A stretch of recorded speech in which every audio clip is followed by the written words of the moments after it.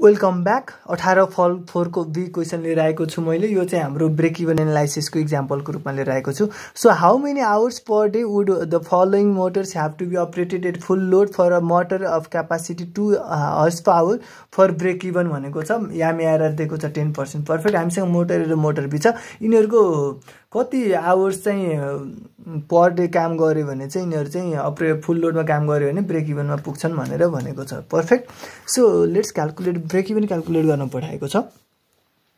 अब गर्ने के हो त? मोटर ए र मोटर बीको लागि काम गर्दाखेरि यसरी यो त दुईवटा प्रोजेक्ट केस भयो। भनेपछि हामीले के गर्छौँ त? यिनीहरूको कमन प्रोजेक्ट कमन काम भनेको हाउ मेनी आवर्स भनेर सोधेको छ। चाहिँ अपरेसन आवर्स चाहिँ कमन चिज हो। ठिक छ? कमन चिज त्यो भनेपछि अब हामी कसरी गर्छौँ? यसरी गर्छौँ। सुरुमा हाम्रो उद्देश्य हो के त टोटल एनुअल कस्ट पत्ता लगाउने ठिक छ? सो टोटल एनुअल कस्ट उद्देश्य के लिनु? टोटल एनुअल कस्ट पत्ता लगाउनु ठिक छ? टोटल एनुअल कस्ट पत्ता लगाउँछ हामी दुइटैको लागि। यसको यसको इक्वेसन बनाउँछौँ भनौँ न यसको इक्वेसन बनाउँछ यसको इक्वेसनमा दुईवटा पार्ट हुन्छ। मैले भनेको थिएँ एउटा हुन्छ फिक्स्ड कस्ट र अर्को हुन्छ भ्यारिएबल कस्ट ठिक छ?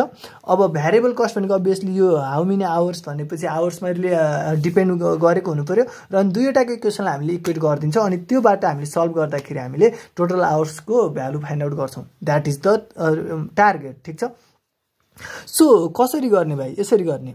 टोटल एनुअल कस्ट गर्नको लागि हामीले के गर्नु पऱ्यो त? टोटल एनुअल छ नि यो ओड भनेपछि हामीले सबैलाई एनुअलमा कन्भर्ट गर्नु पऱ्यो अब हेर्दै गएँ भने मैले पर्चेज प्राइस यो त इनिसियल कस्ट हो इनिसियल हो इन्भेस्टमेन्ट जस्तो हो। यो त अब एनुअलमा छैन प्रिजेन्टमा छ लेट्स से अनि इफिसियन्सी गिभन छ इफिसियन्सी किन गिभन छ हामीलाई? हामीलाई यो पर आवरतिरको काम गर्नको लागि इफिसियन्सी गिभन छ किनकि यिनीहरूको काम गर्ने तरिका त फरक फरक छ नि त इफिसियन्सी फरक छ। सो मेन्टेनेन्स कस्ट पर इयरमा छ यो perfect tax and insurance per इयरमा छ पर्फेक्ट सो म के गर्छु? सुरुमा for project A sir project भन्ने भन्ने चाहिँ फर मोटर ए। ठिक छ? मोटरएको लागि हामी के गर्छौँ त? हामी यस्तो गर्छौँ। फर मोटर ए के गरौँ त? पो अब हामीसँग अहिले यहाँ स्यालवेज भ्यालु गिभन छैन। त्यही भएर म के गर्छु नि त? सिधै पर्चेज प्राइसलाई एनुअलमा लिएर जान्छु। सो जसलाई क्यापिटल रिकभरी भने पनि हुन्छ। नभए म के हुन्छ त? एनुअल एनुअल पर्चेज प्राइस भनेर भन्छु म। पर्चेज प्राइस जसको खासमा नाम चाहिँ के हो त? क्यापिटल रिकभरी हो। ठिक छ? यसलाई म के भन्छु? पैँतिस तिन लाख पचास हजार जुन चाहिँ अहिले प्रिजेन्टमा छ यसलाई मैले लानुपर्ने चाहिँ एनुअलमा कतिले टेन पर्सेन्ट आइआरआर यहाँ के भन्छ टेन पर्सेन्ट। ठिक छ टेन पर्सेन्टले कति वर्षको लागि लाइफ हो? Five years. पाँच वर्षको लागि ठिक छ? अब यो कुरा त हामीले टेबलबाट फाइन्ड आउट गर्न सक्छौँ। नभए हामीले फर्मुला युज गर्दा पनि हुन्छ let's do this from table. Or okay let's do this from okay let's do this from formula केही भएन। सो प्रिजेन्टलाई एनुअलमा लानु छ भनेपछि के गर्नु पऱ्यो मैले? I zero point one one plus zero point वानको power five by one point वानको power five minus one perfect यो गऱ्यो भने कति आउँछ? Let's do this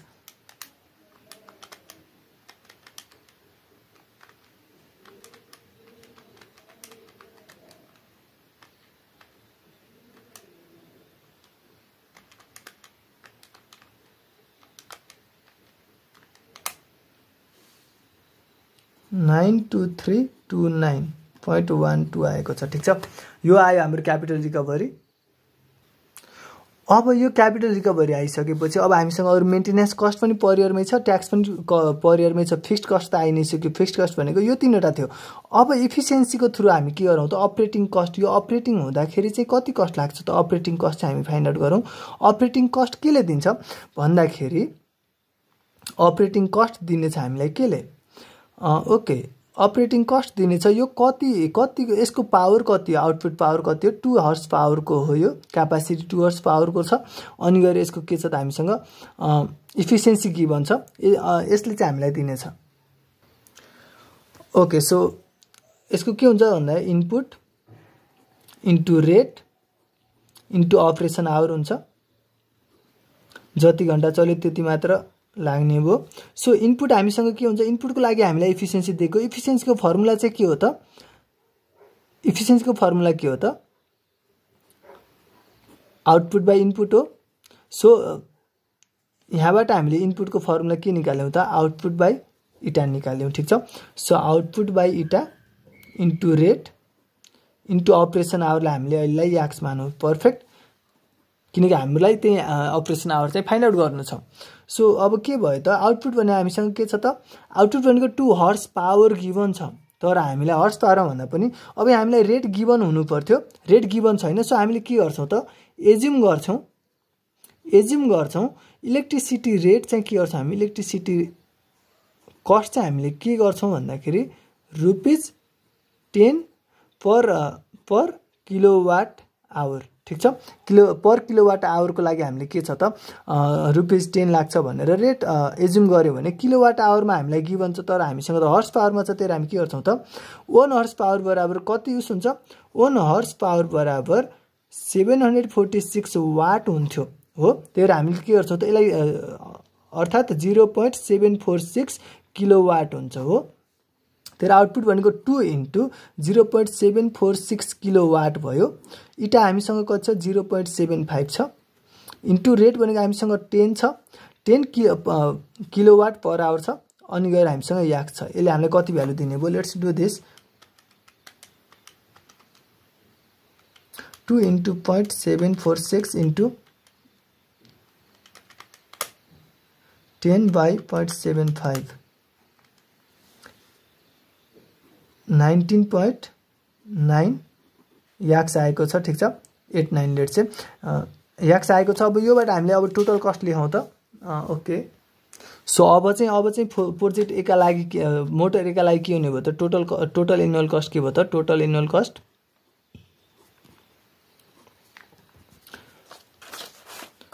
पर्चेज प्राइसको हामीले जोड्नु पऱ्यो nine two three nine two three.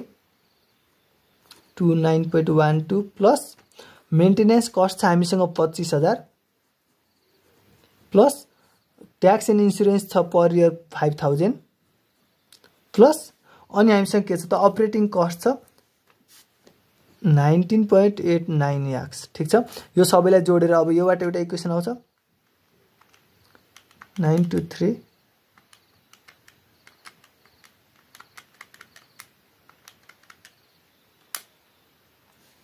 one two two three two nine point one two plus nineteen point eight nine x. यो हाम्रो फर्स्ट इक्वेसन भयो। यसरी अब हामी के गर्छौँ त? फर मोटर बी मोटर बीको लागि पनि सेम काम गरौँ। यसको लागि पनि अब क्यालकुलेट गर्नुपर्ने भनेको पर्चेजिङ प्राइस इनिसियल प्राइसलाई हामीले के गर्नुपर्ने छ त? एनुअलमा लानुपर्ने छ। So let's do this five lakh into. यो केमा छ अहिले प्रेजेन्टमा छ लानुपर्ने एनुअलमा छ। कतिले? नाइन्टी पर्सेन्टले लानुपर्ने छ। Sorry sorry sorry sorry ten पर्सेन्टले लानुपर्ने छ। ओके हामी आएर सेम। एन्ड कति वर्षको लागि? सात वर्षको लागि लानुपर्ने छ। ठिक छ यसको युजफुल लाइफ चाहिँ सेभेन इयर्स छ। आयो कुरा बुझ्दै हुनुहुन्छ होला। सो ओके यसलाई अब क्यालकुलेट गरौँ। फर्मुला नै युज गरेँ यसमा पनि।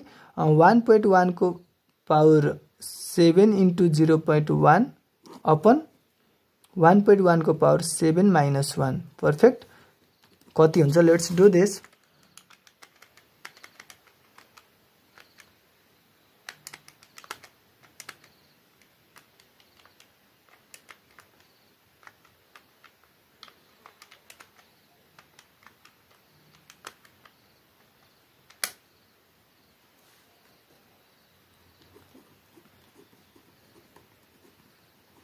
यति आएको छ। अब हामी के गरौँ त? अब अपरेटिङ कस्ट निकालौँ यसको पनि। अपरेटिङ कस्ट पर्फेक्ट यसको पनि अपरेटिङ कस्ट के हुन्छ त? म सिधै योवाला फर्मुला लेख्छु। सिधै म भ्यालु नै राखिदिन्छु। यसको पनि आउटपुट भने टु हर्स पावर नै हो। Two into zero point seven four six upon zero point nine यसको इफिसियन्सी हो। इन्टु रेट सेमै छ। Into x let's do this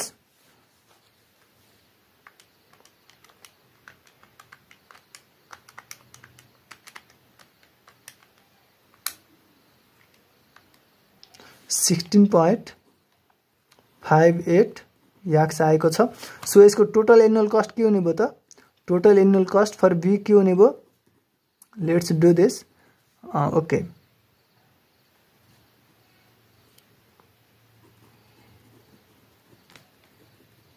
plus यसमा हामीले के जोड्नु पऱ्यो मेन्टेनेन्स कस्ट जोड्नु पऱ्यो पन्ध्र हजार। प्लस ट्याक्स जोड्नु पऱ्यो दस हजार पाँच सय। प्लस अनि हाम्रो के जोड्नु पऱ्यो त अपरेटिङ कस्ट जोड्नु पऱ्यो sixteen point five eight x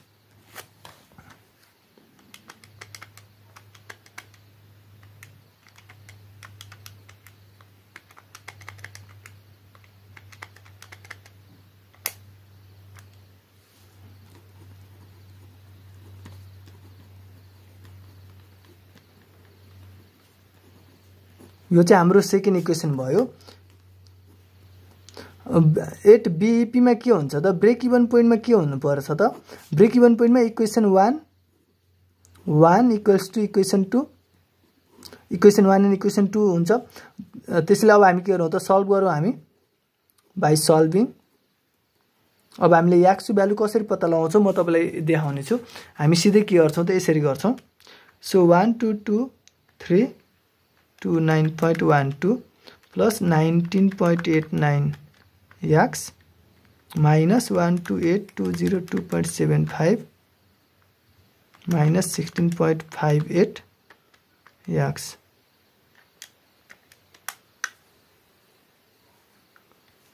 यहाँबाट याक्स भ्यालु आएको छ one seven seven four point five one hours perfect यो आवर्समा चाहिँ के हुन्छ त? फुल लोडमा अब अब यो चाहिँ के भयो त हाम्रो टोटल आवर्स यति आयो भनेपछि यति आवर्स चलाउनको लागि पर डे कति घन्टाको दरले चाहिँ चलाउनु पर्ला भनेर क्वेसन छ। सो यति आवर्स पुर्याउनु पऱ्यो यति आवर्स पुर्याउनलाई पर डे कति घन्टा चलाउनु पर्ला एक वर्षमा? Let's divide this by three sixty five so okay one seven seven four let's say this seven five and this is four point eight six hours चाहिँ चलाउनुपर्छ perfect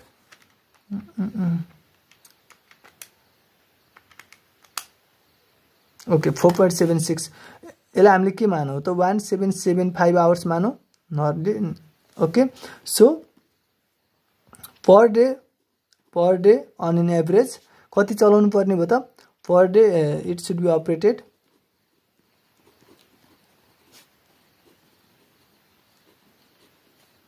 four point eight six hours at full load perfect at four point eight six hours per day at full लोडमा चलायो भने चाहिँ यो के हुन्छ त break even पोइन्टमा पुग्नेछन् तिनीहरूको क्यापासिटीमा पुग्नेछन्। ठिक छ?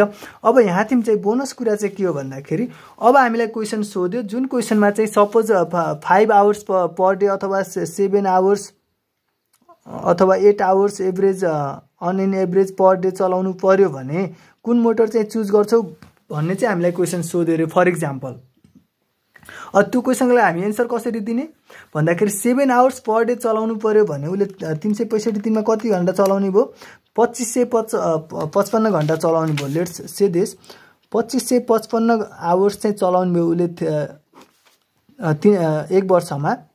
एक वर्षमा यति यति चलाउने भयो भनेपछि अब कुरा के हो भन्दाखेरि हाम्रो ब्रेक इभन पोइन्ट हो सत्र सय पचहत्तर सत्र सय पचहत्तरभन्दा ग्रेटर छ भने सत्र सय पचहत्तरभन्दा ग्रेटर छ भने चाहिँ अब के हुनु पर्यो? सत्र सय पचहत्तरभन्दा ग्रेटर छ भने जसको भिसी सानो छ जसको याक्सको कोफिसियन्ट सानो छ त्यो मोटर चाहिँ हामीले के गर्छौँ त सेलेक्ट गर्छौँ। यदि हामीलाई पच्चिस सय पच पचपन्न घन्टा चलाउनु पर्ने छ अर्थात् हाम्रो यो भ्यालुभन्दा हायरको लागि चलाउनु पर्ने छ भने त्यतिखेर हामीले याक्सको कोफिसियन्ट कम भएकोलाई चाहिँ चुज गर्नेछौँ सेलेक्ट मोटर बी। त्यो बेलामा चाहिँ हामीले मोटर बी चाहिँ चुज गर्छौँ ठिक छ? यदि हामीलाई हाम्रो हाम्रो यो भ्यालुभन्दा कमको लागि चाहिँ चुज चलाउनको लागि चुज गर्न कुन चाहिँ चुज गर्न बेटर हुन्छ भनेर सोध्यो भने चाहिँ त्यतिखेर फेरि हामीले के गर्ने त हायर भिसी भएकोलाई चाहिँ चुज गर्ने मतलब जसको चाहिँ के हुन्छ त हायर भिसी भएकोलाई चुज गर्ने जसको चाहिँ के हुन्छ त फिक्स्ड कस्ट चाहिँ के हुन्छ त कम हुन जान्छ ठिक छ? पर्फेक्ट हो यसरी सल्भ गर्ने छ हामीले चाहिँ this is all about break even point thank you